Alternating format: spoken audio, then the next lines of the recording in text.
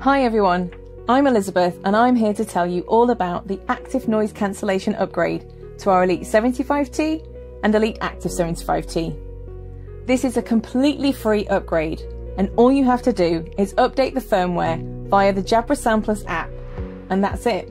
It really is as simple as that. And yes, we really can add ANC to your 75Ts without even touching them. Not bad, right? You probably already know that usually when you buy a pair of headphones, they either have ANC or they don't. But the technology that we built into the Elite 75T and the Elite Active 75T, including an advanced digital chipset, has meant we've been able to continue to update and improve them even after people have already bought them. And that includes updating them with ANC. What this basically means is that you'll be one of the first people to ever get ANC added to the product that you already own. I hope you like the sound of that.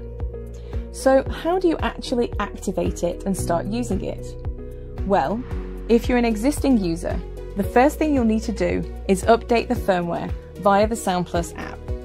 You can do this by powering on the earbuds, opening the app, and following the instructions. Once the headset is updated to the latest firmware, you need to activate the ANC. You'll see a pop-up that tells you there is a new feature available. Touch the active noise cancellation button, then select Personalize ANC. You will then be able to fine-tune the ANC to suit your hearing. Once you've done that, hit done and that's it. You're ready to go. I told you it was easy.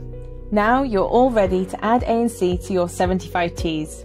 So what are you waiting for?